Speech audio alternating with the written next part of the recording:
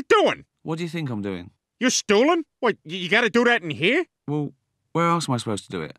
I can't just do it on the floor, can I? You'd be all like, ooh, who left this coil of rope on the floor? It's very, comes out very ropey, is my point. But I gotta take a bath. Go on then. We're both men.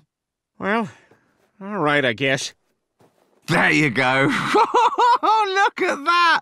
What is. Whoa. Solar eclipse blocking the sun. Do not look directly at it. What? What? What? What? What? What the hell? What are you doing? I'm just making a comment. Um, need to know something. Do you hear the word morbidly a lot? This is not fair. Ok- Okay, and again, I'm going to ask one more question, and don't take this the wrong way, have you actually got a penis? Yes, Where? Where is it? Where is it? it's in there. Are you sure? So it's like Mr. Snuffleupagus, is it? Oh, the hell with this. Lois, get the ruler. We're measuring again. And this time I decide where the base is.